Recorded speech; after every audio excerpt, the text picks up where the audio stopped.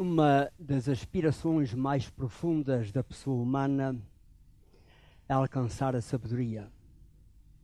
E aqueles que nós chamamos sábios, há muitos séculos nos apontaram o caminho para a sabedoria. Esse caminho é olhar para dentro, conhecer-se a si mesmo. Como qualquer conhecimento, inicia-se por perguntas. E vou fazer apenas três perguntas. A primeira: O que sou?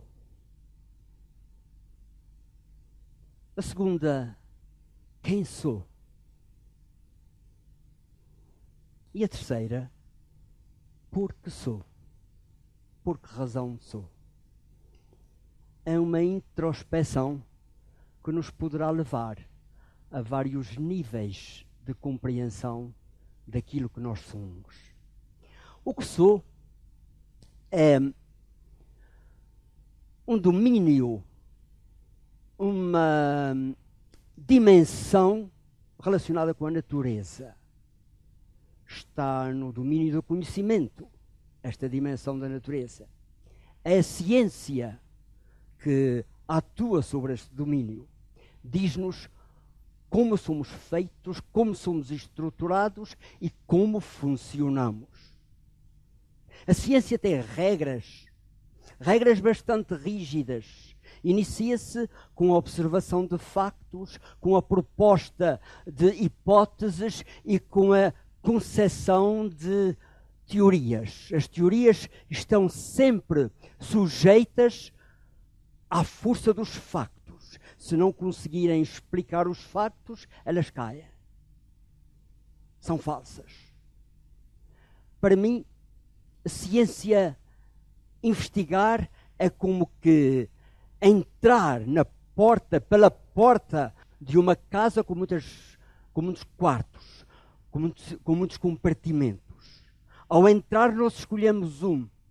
E esses compartimentos são rígidos, têm paredes rígidas, rígidas, isto é, estão condicionados, de maneira que quando nós fazemos a investigação, nós colocamos fora muitas variáveis, de modo que a conclusão seja o menos ambígua possível. A ciência tem regras, a ciência tem uma metodologia própria.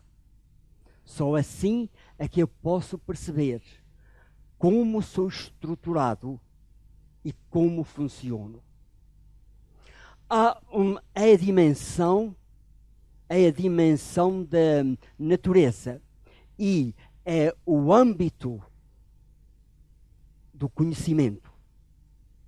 Uma outra pergunta: quem sou? Esta pergunta não é necessariamente dada pela metodologia científica. É uma pergunta que vai para além da ciência. Isto é, tem uma outra ciência por detrás. Uma ciência com outra metodologia. É aquilo a que chamamos filosofia. O âmbito deste nível é o âmbito da consciência de si, que não pode ser revelada pela ciência. Tem de ser vista de uma outra maneira, com uma outra metodologia.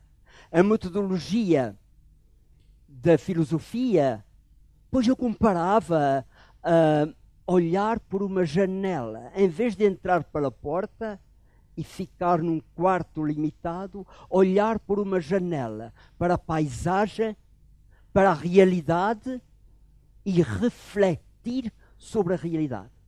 Tê-la toda à mão, mas não tocar nela. Integrar. E a partir daí conceber. Porque fala-se mais de concepções filosóficas do que de teorias filosóficas. Fala-se mais de teorias científicas do que concepções científicas. É uma outra abordagem. Não é uma abordagem menos rígida, porque a filosofia é conhecida pela lógica dos argumentos, mas é num âmbito diferente. É no âmbito da consciência de si. A terceira pergunta: por que sou? Por que razão sou? Aí, nem a ciência, com a sua metodologia rígida, nem a filosofia, com a sua metodologia mais aberta, podem dar uma resposta. A ciência, porque trabalha com o passado. Os factos são a base da ciência. E a palavra facto vem do latim factum, que foi feito. Se foi feito, pertence ao passado. A ciência, o que projeta para o futuro, são probabilidades, não são certezas. De maneira que o futuro, que é a resposta do porque sou, não pode ser estar no âmbito da ciência, nem no âmbito da filosofia, porque sendo o futuro, ultrapassa-nos na nossa consciência de nós mesmos. Só pode ser por uma outra realidade, a realidade da fé. Estamos então numa outra dimensão, a terceira dimensão da pessoa humana, a dimensão espiritual. Dimensão física do conhecimento, dimensão do conhecer-se, da consciência de si e dimensão espiritual. E então é a dimensão da fé. Não pode ser dada nem pela ciência, nem pela filosofia. Mas o que é então a fé? A fé é a aceitação de uma proposta sem evidência científica. Para aqueles que creem, a fé é algo a que se responde na previsão do fim. E quando chegamos ao fim, o que acontece? Estamos a ver que nem a ciência nem a filosofia diz. Mas se houver uma proposta, no meu caso, como se trata de uma partilha de experiência, no meu caso, como cristão, é uma proposta de fé. O que acontece depois há uma outra vida. E é a partir daqui, sem um, o coxim, por assim dizer, sem o apoio de certeza de qualquer sorte, atiramos-nos confiantes nos braços de quem nos propõe, nos faz essa proposta. Por isso, aqui a fé será um lançar-se no desconhecido, sem a proteção do, do saber, do conhecimento. A fé, a fé tem duas dimensões. Uma dimensão é íntima, pessoal, aquilo que eu creio e a, a resposta que eu dou.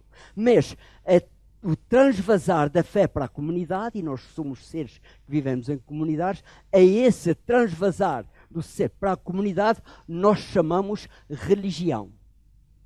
E é esta religião, e esta fé e esta religião, quando uh, são colocadas numa dimensão de ação, enfermam das limitações do ser-se humano para eu perceber melhor a minha, a minha fé, eu tenho que humanizá-la. Para eu perceber melhor a minha religião, eu tenho que antropomorfizá-la. Isto é, colocá-la em categorias com que eu me possa mexer. Daí a dificuldade que há em manter limpa, pura, esta aceitação de uma proposta de futuro. Comparo a fé e a vivência da fé a este paradigma da pérola e da cebola. O que é uma pérola? Uma pérola é uma concreção, um produto de um molusco, de uma ostra, resultante da intromissão de um corpo estranho na carne da própria ostra. Ela vai cobrindo este, este objeto que ali entrou, vai cobrindo com camadas de nácar, daquele nácar de que é formada a concha. Essas camadas concêntricas vão isolando o intruso. É uma reação alérgica. A pérola fica linda, mas o cerne está morto. Mas há uma outra visão do que poderá ser a fé. A fé poderá ser semelhante a uma cebola. Não tem grande aparência mas a maneira como é formada é semelhante. São camadas sobre camadas que vão protegendo um núcleo, mas com uma diferença brutal. É que este núcleo está vivo e é este núcleo que dá força às camadas exteriores, de modo a que elas não só protejam o núcleo, mas sejam fonte de vida. É o paradigma da pérola e da cebola. Vendo, olhando para nós, o que é que eu tenho que ver com estas três perguntas? Tenho que ver porque em mim, em cada um de nós, existem os três níveis, as três dimensões, concomitantemente, ao mesmo tempo. Por isso, a resposta que eu lhes der será uma resposta tão completa quanto eu decidir investir em cada um desses níveis. Como indivíduo e como comunidade. Porque se ao longo da minha vida eu for amadurecendo aquilo que chamo fé, camada sobre camada, vai aparecendo ao longo dos anos. Se for uma camada para evitar que aquele ser intruso, que é a fé, me prejudique, terei uma, poderei ter uma pérola linda, mas morta por dentro.